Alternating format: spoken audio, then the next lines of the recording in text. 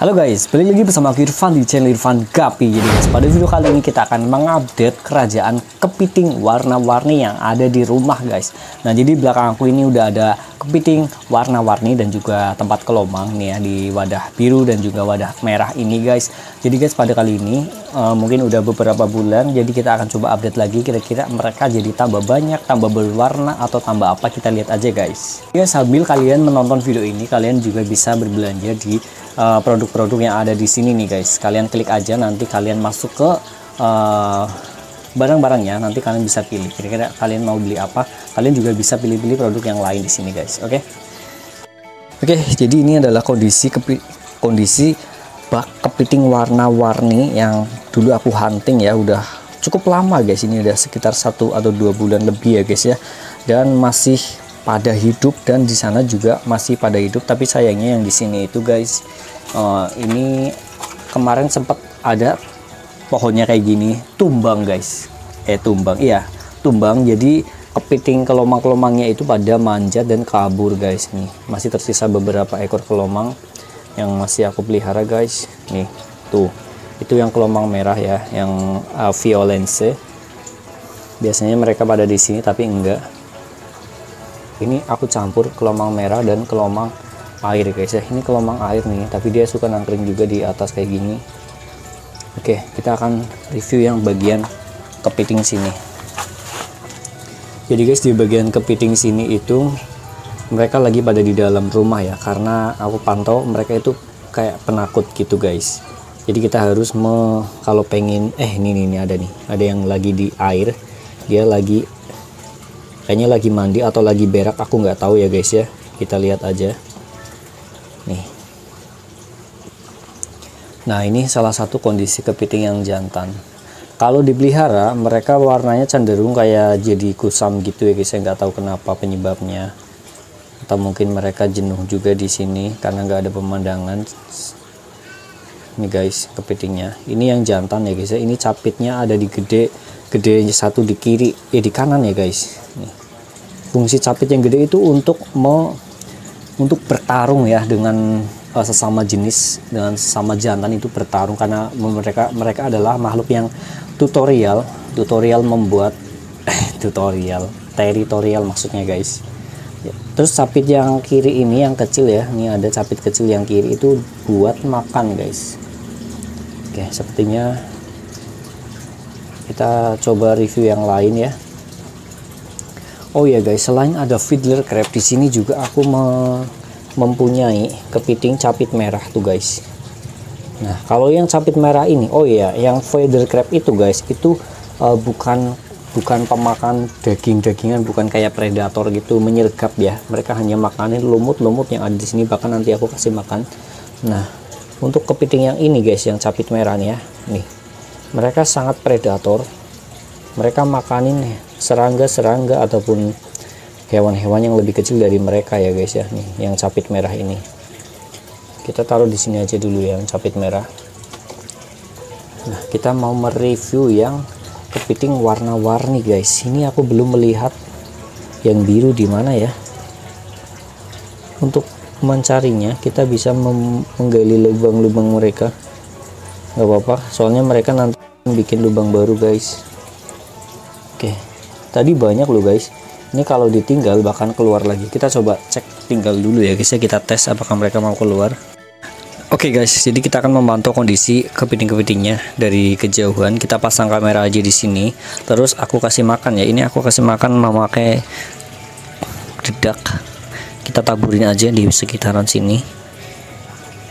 Oke, okay, lalu kita coba menghindar ya. Mereka akan keluar nanti guys ya. Oke, okay, kita pantau dulu guys.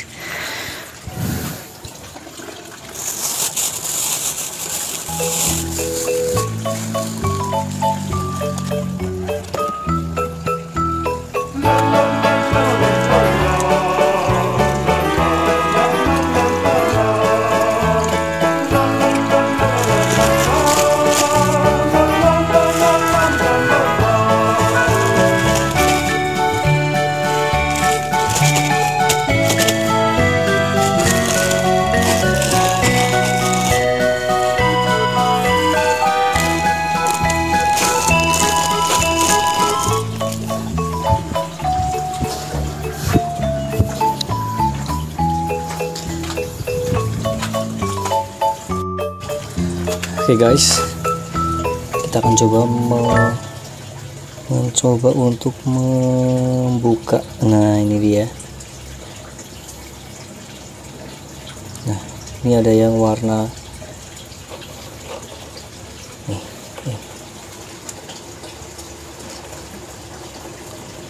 Ini guys, kalian lihat ini ada yang warnanya kayak gini. Nah ini guys, ini di sini ada beberapa ekor. Nih kita akan tangkap yang ini. Nah ini warna biru nih guys. Kalau di sini kepitingnya jadi warna agak sedikit kayak hitam-hitaman gitu ya, karena matahari nggak full ya. Mungkin mungkin kayak gitu ya guys ya. Nih. Tapi mereka tetap bagus-bagus warnanya kok guys. Nih di bawah pohon ini ini dia masih banyak loh guys masih banyak kepitingnya nih warna-warni nah ini dia nih tapi memang ya di sini warnanya kurang mencolok ya beda kalau di alam langsung Oke guys, jadi setelah aku coba pelihara dan alhamdulillah mereka masih pada hidup. Ternyata perawatan cukup mudah, yang penting mereka nggak kabur aja guys. Kalau mereka kabur, pasti kan bakalan hilang. Jadi entah mereka ke mana. Mending kayak gini, kalau kayak gini mereka nggak bakalan bisa manjat karena ini licin ya guys ya. Tapi kadang-kadang juga ada yang bisa manjat, entah aku bingung juga. Mereka manjatnya itu bagaimana guys cara manjat mereka. Dan buat yang pada nanya ini cara memeliharanya gimana itu gampang banget. Nah, pertama-tama guys jadi guys pertama-tama biasanya aku mau ini kita siapin wadah baskom seperti ini ya guys ya. Entah baskom bentuk apa pun itu warna apa pun itu yang penting agak licin dan juga cukup luas lumayan luas. Baskomnya nggak bocor juga karena tempat menampung air juga karena membutuhkan air ya untuk uh, memeliharanya. Lalu, lalu guys setelah itu kalian ambil lempung atau tanah yang berada di habitat mereka supaya mereka lebih lebih bisa beradaptasi ya. Ini aku ambil tanah ini aku campur sama pasir ya guys ya tanah yang dari habitat kepiting tersebut guys. Nah selanjutnya kita taruh sebenarnya ini enggak ini ya enggak enggak diperlukan amat tapi supaya hmm, lebih bagus aku kasih kayak gini ini tanaman bako yang biasa ada di habitat mereka juga guys. Dan pastikan airnya jangan sampai surut. Sekarang kan lagi musim hujan jadi agak sedikit uh, lembab udaranya dan lebih menguapnya nggak terlalu sering. Beda sama kalau musim kemarau itu menguap banget. Jadi kita kalau musim kemarau itu harus sering-sering menambahkan air ke sini supaya nggak sampai kering ya. Kalau sampai kering itu kepitingnya bakal kehausan ya dehidrasi lalu mati guys pakon kita kasihnya sehari sekali aja nggak usah banyak-banyak. Cuma sedikit aja guys ya. Tadi kayak tadi aku ngasih makannya. Cuma segini kita ur-urin karena mereka makannya itu sedikit guys. Oke yang badannya kepitingnya dijual atau enggak aku enggak jual kepitingnya ya guys ya. Nah, pertama-tama karena kenapa aku enggak jual? Karena memang aku enggak niat untuk ngejual jual kepitingnya juga. Yang kedua memang uh, kepiting ini perlu perawatan yang tidak biasa guys ya karena dia itu air payo guys. Jadi agak sedikit berbeda dengan air tawar yang lebih mudah untuk dipelihara. Selanjutnya kenapa aku enggak jual? Karena kalau kepiting di ini kan makhluk hidup ya. Ini juga jarang yang pelihara kepiting seperti ini. Jadi kalau misalkan dikirim-kirim ke luar kota takutnya mereka malah nanti pada mati. Jadi kasihan juga guys. Jadi videonya sampai di sini. Jangan lupa like comment dan subscribe. Salam satu bi guys